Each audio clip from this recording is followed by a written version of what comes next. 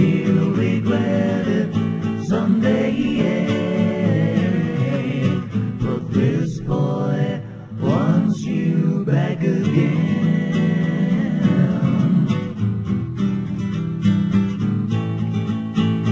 That boy isn't good for you. Though